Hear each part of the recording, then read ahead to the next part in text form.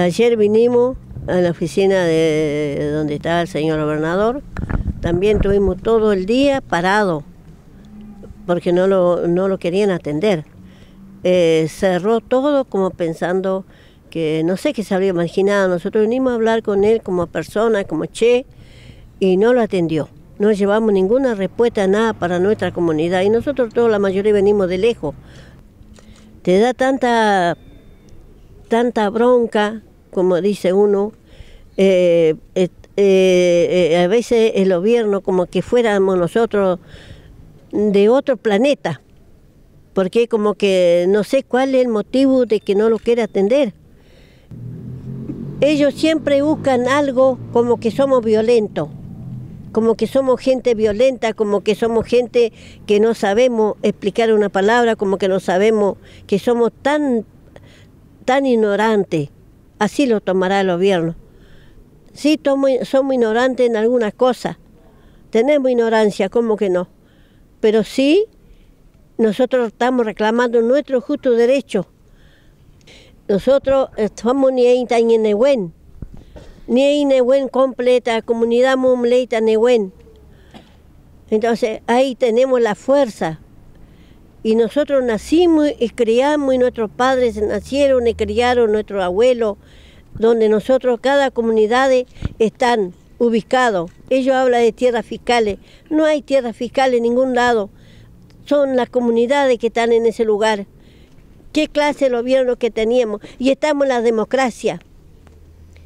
Esto es una vergüenza, una vergüenza para el gobierno que tiene la sociedad. No es solamente del pueblo originario. Lo están matando, de esta manera lo están matando. Y sigue violando la tierra y siguen haciendo cosas con el pueblo originario, con nuestro susquén, con nuestra madre tierra.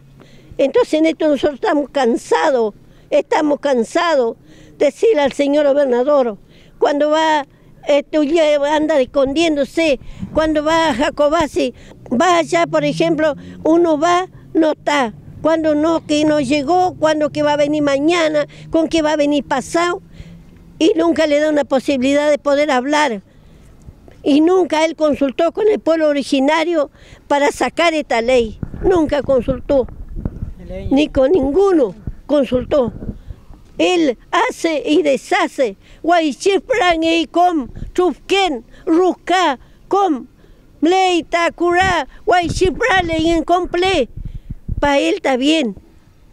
Como dije ayer, de que si él tiene deuda, como dijo en una prensa, de que había tierras fiscales para venderla a los extranjeros y sacar la plata, vendió todo, ya estamos todos vendidos. No sé si no estamos nosotros, a ustedes también, vendidos ya.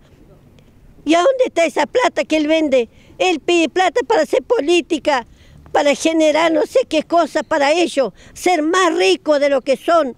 Es un gobierno de los ricos el gobierno de aquellos grandes empresarios, de aquellos grandes millonarios, para ser más millonarios. Y nosotros a seguir siendo pobres como somos pobres. Y nuestros hijos van a seguir comiendo migajas como comemos migajas nosotros, nuestros nietos.